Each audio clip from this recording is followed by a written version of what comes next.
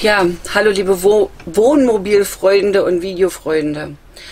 Ja, da haben wir ja ganz schön einen rausgelassen. Also mit so viel Resonanz haben wir überhaupt gar nicht gerechnet und wir möchten uns einfach mal jetzt, also ich möchte mich im Namen auch von Michael, wir haben vorhin telefoniert, ganz, ganz recht herzlich bedanken.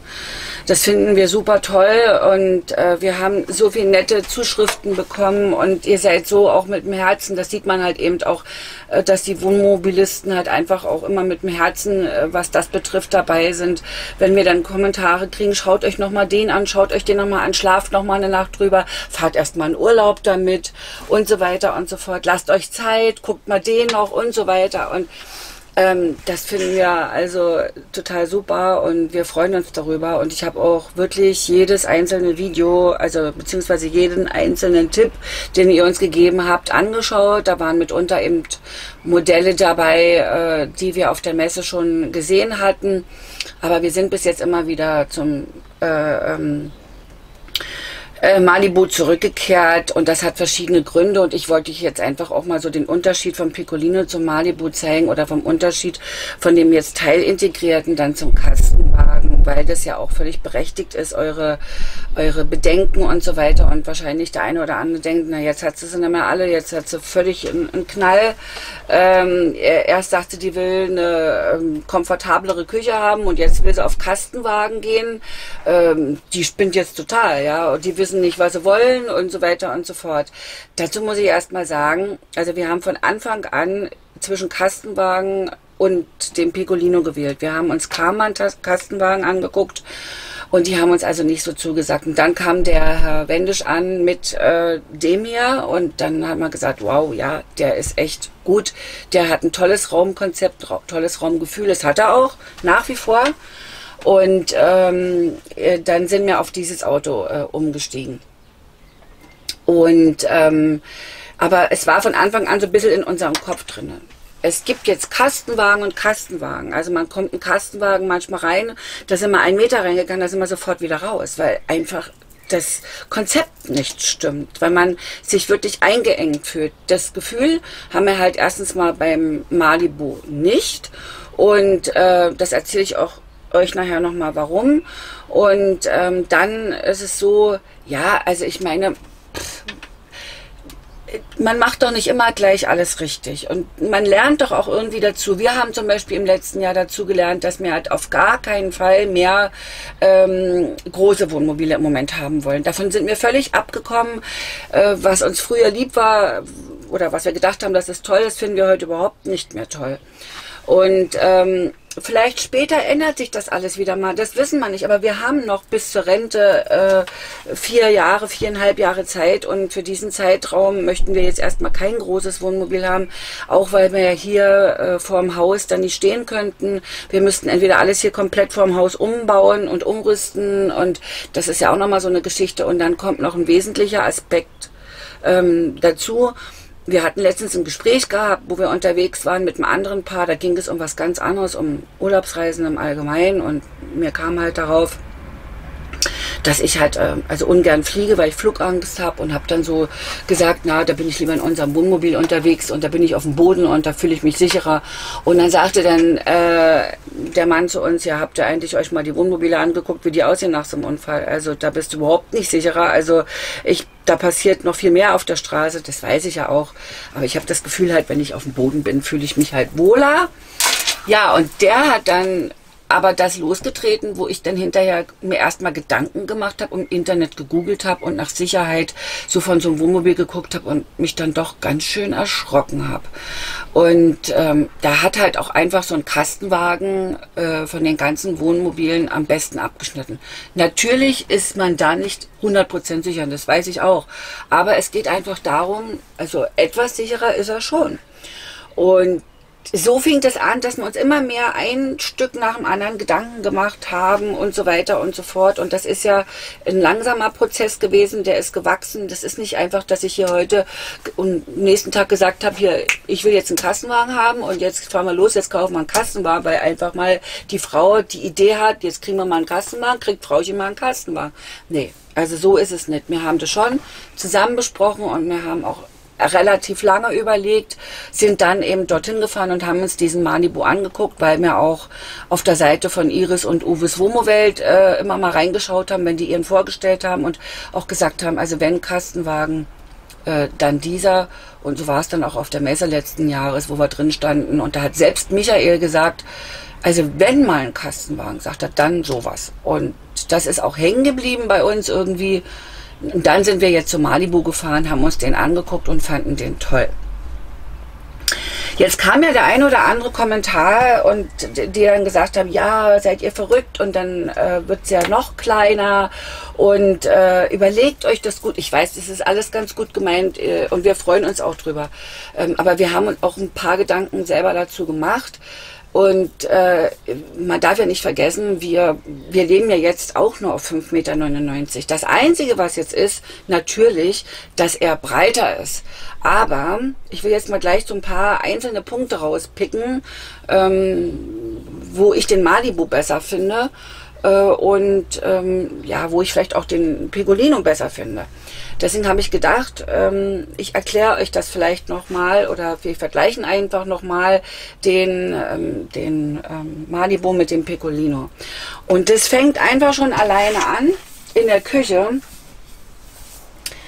Schaut, ich habe hier eine Fläche, die ist recht tief. Ja, also es ist schon Platz hier. Aber ähm, muss auch nochmal meine Liste ein bisschen aufmachen. Ich habe mir nämlich so ein paar Stichpunkte geschrieben, weil man vergisst ja auch immer viel. Ein Schluck Aperol noch. Prost. Ja, also ähm, wenn ich jetzt hier am Kochen bin, ich brauche meistens ja irgendwie doch auch die Spüle. Ich frage mich allen Ernstes, warum stellen denn nicht alle Wohnmobilhersteller sowas her, dass man zum Beispiel hier in diese Glasplatte anstatt einer Glasplatte auch ein Brett drauf macht. Ja, dass man eine Abdeckung hat, die auch ein Schneidebrett hat, so dann hätte man hier schon mal eine super Arbeitsfläche. Die könnte man mit nutzen. Ja, so muss ich immer hoch und runter klappen. Ja, und das ist halt, habe ich festgestellt, Glas ist auch empfindlich. Du musst dann immer erst was draufstellen, bevor du einen Topf oder irgendwas hier draufstellst, weil sonst gibt es Kratzer.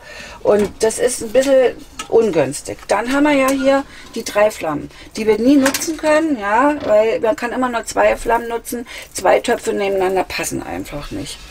Ähm, also könnte man hier schon mal einen Zwei-Flammenherd machen und hätte hier vorne auch noch mal ein bisschen Fläche. Das wäre wenigstens schon mal ein bisschen was. Ich habe mir übrigens auf, äh, einer hat uns erinnert, dass wir ja diesen Van vorgestellt haben, den Bürstner, und das stimmt, das ist uns dann auch eingefallen. Und ich habe mir mein eigenes Video nochmal angeguckt, aber der hat auch keine größere Küche. Das ist ein kleines bisschen an der Seite und hier vorne ein Stück, aber mehr ist nicht. Hat den Kühlschrank unten und hat auch nur eine Seite schubfächer.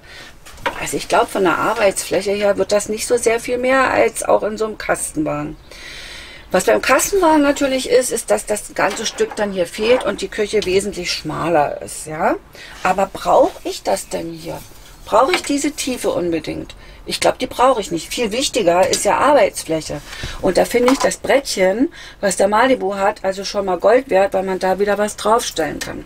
Dann kommt hinzu, dass dann der Tisch direkt daneben ist. Also man kann so wie im kleinen Karree arbeiten. Ähm, das ist jetzt doch noch mal ein Meter zu dem Tisch hier hin.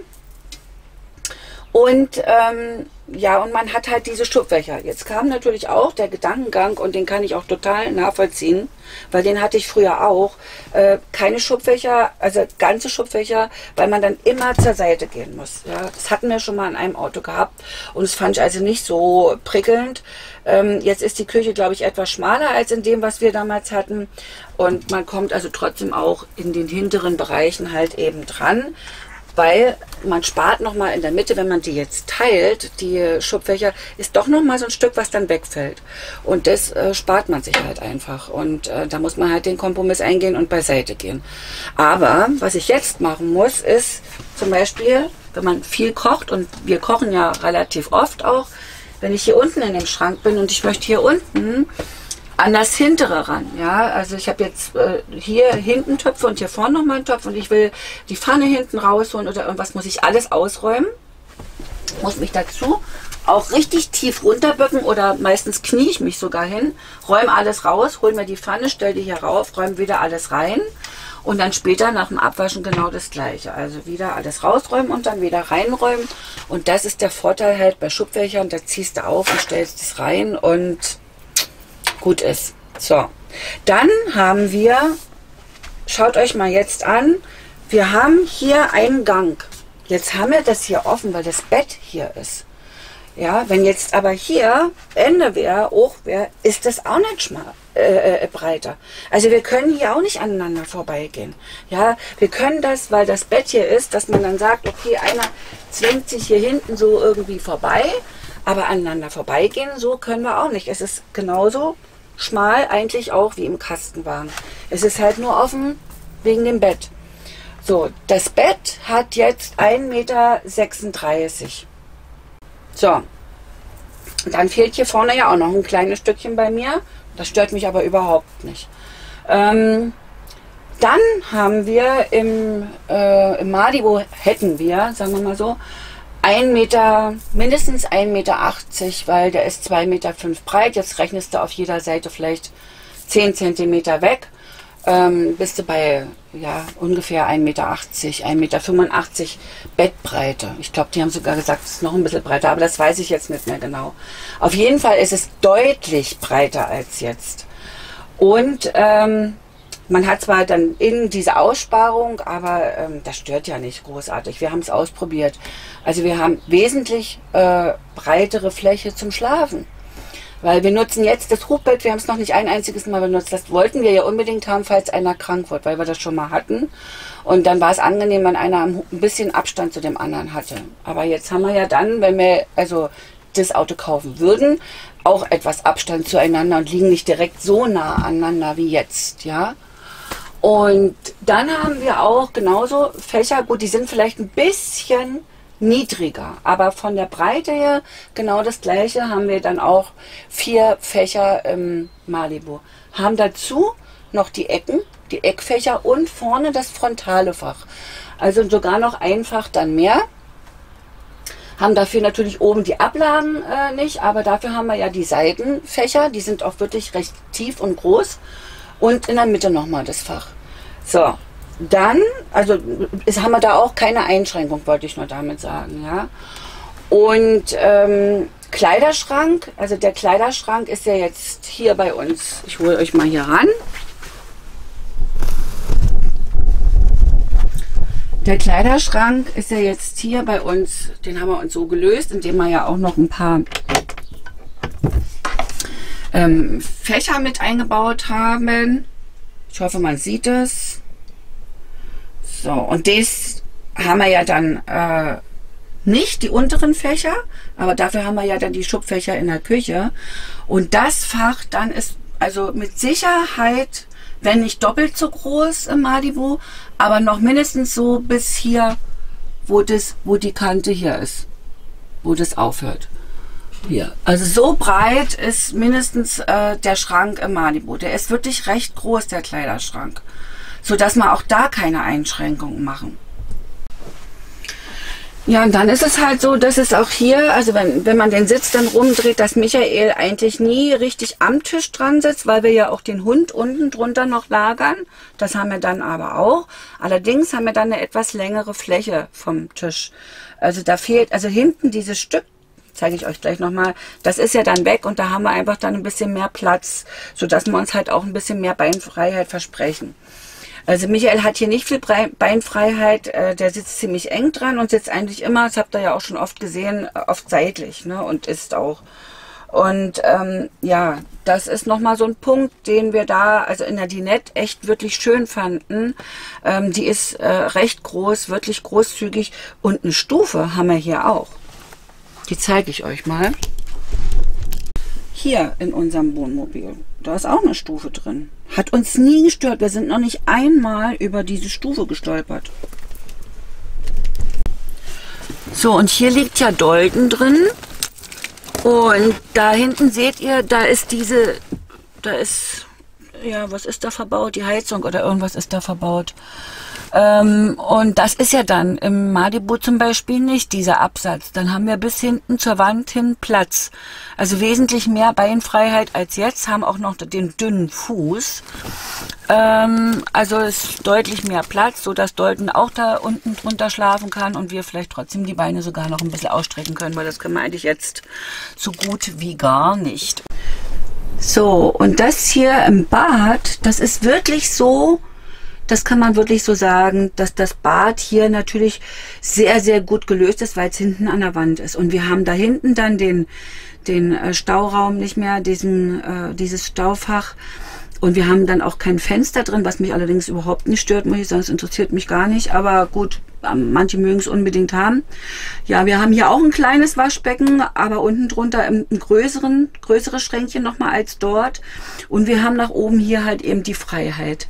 Ja, weil in der Mitte, das kannst man halt zusammenklappen, die Dusche, also die ausklappen, die Duschkabine, dass man auch einen getrennten Duschraum hat, der allerdings wesentlich kleiner ist als der dann im Malibu. Der ist dann größer, der Duschraum. Also es hat alles sein Für und Wider und ähm, ja, also perfekt, wie gesagt, ist halt eben nichts, ne? Ja, hier möchte ich euch auch nochmal unsere Garage zeigen die jetzt schon ein bisschen vollgepackt ist für unseren Urlaub. Ich muss ja immer mein ganzes Brot hier mitschleppen und habe schon Vorsorge getroffen. Paketeweise Brot schon eingepackt. Das hatte, man glutenfrei leben muss, nicht ganz so einfach. Ähm, ja, also ihr seht hier, die Garage ist wirklich schön vom Piccolino. Ja, die ist auch wirklich recht groß. Hier passt jede Menge rein. Aber auch dort haben wir dann die gleiche Garage, weil die Länge ist ja die gleiche. Das ist so lang, wie das Bett ist.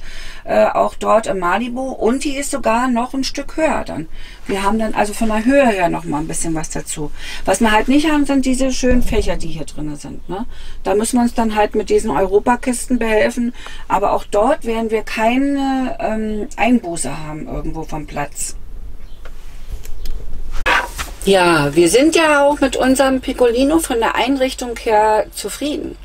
Es ist halt dieses Gesamtbild, wenn man hier reinkommt, dadurch, dass er breiter ist natürlich, ist äh, größer das Raumgefühl. Aber letztendlich vom Platz her, so viel mehr Platz haben wir auch nicht. Ja? Und er ist äh, auch nur 5,99 halt eben lang.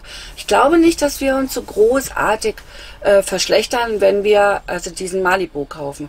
Und ich wollte noch sagen, ähm, der Malibu, was der auch hat, was uns sehr gut gefällt, ist, wo hier also der Kühlschrank ist, der geht ein Stück zurück, der Kühlschrank. Also der ist um so ein Stück nach hinten geschoben und dadurch, dass das Bad hier auf der Seite das ist ja so ein bisschen halbrund äh, ähm, gestaltet. Wenn man die Tür aufzieht, hat man dann halt natürlich hier hinten auch noch mal ein bisschen vielleicht so viel mehr Platz und hier noch mal so viel mehr Platz ergibt vielleicht so ein Stückchen. Ist aber halt schon wieder ein Stückchen mehr, wo man Bewegungsfreiheit hat. Also wir haben nicht im Malibu gestanden und wie bei manch anderen Kastenwagen, wo wir gesagt haben, da sind wir gleich wieder raus, da haben wir gesagt, das geht gar nicht. Ja, also, weil ich habe ja dann hinterher manchmal gesagt, nee, also Kassenwagen, das fällt für uns definitiv aus. Bis wir dann dort drin gestanden haben. Und ja, was sollten wir jetzt machen? Jetzt hatten wir Piccolino gekauft, also brauchten wir uns darüber überhaupt gar keine Gedanken großartig zu machen. Haben wir uns auch nicht näher angeguckt letztes Jahr. Wir haben nur gesagt, wenn Kastenwagen, dann äh, Malibu wäre unser Favorit. Ja, deswegen, also ich glaube nicht, dass wir uns verschlechtern, auf gar keinen Fall mit dem Malibu. Ähm, uns gefällt halt das Wohnambiente mega gut. Also es ist einfach das, für mich ist es nicht zu toppen. Aber er hier, also Piccolino hat auch ein schönes Möbeldesign und ähm, auch hier das mit den Abrundungen, das fand ich total gut. Das hat ja Malibu auch, also auch alles abgerundet, die ganzen Schränke. Und ähm, ja, der hat halt eben nicht diese Isolierung, ne, die der Malibu halt eben hat. Und ähm, die Isolierung ist ja von der Außenwand zur Innenwand im Malibu zwei Zentimeter Schaumisolierung ist dort drin. Und dann hat er ja nochmal dieses ganze äh, diese Verkleidung mit dem Mikrofaserstoff. Und dieser Mikrofaserstoff, der ist also auch gedacht für Schwitzwasser. Das ist atmungsaktiv, dieser Stoff und dämmt gleichzeitig eben auch ein bisschen noch den, die Räumlichkeit. Die haben das in den Schränken drin, habt ihr ja gesehen. Also da klappert nicht so viel, ist nicht so laut alles. Äh, das hat mir also sehr, sehr gut gefallen und ähm, hat halt eine wunderbare Akustik innen drin. Das ist, und das sind so die Details. Das ist so, das ist so, das macht's halt besonders. Und dann passt die Garage, die ist schön hoch und groß, ist nicht so flach. Also für uns ist es einfach, wenn ein Kastenwagen, dann diesen. Ich hoffe, ihr könnt es vielleicht jetzt ein kleines bisschen besser verstehen. Und ähm, ja, wir lieben unseren Piccolino trotzdem und ihr könnt mir glauben, dass wenn der mal weggeht, dass da einige Tränen fließen werden. Es ist unser allererstes Wohnmobil, da hängt mein Herz trotzdem sehr dran. Wir machen uns die Entscheidung nicht einfach. Es ist nicht einfach so, dass Frauchen mal daherkommt und sagt, hier neuen neues Auto hätte ich gerne und so weiter. Nee, das ist schon sehr, sehr gut überlegt und es muss auch wirklich ein Auto sein, was dann unseren Wünschen wirklich entspricht. Und mir wird es sehr, sehr wehtun, wenn der hier weggeht. Da werden einige Tränen fließen, das könnt ihr mir glauben.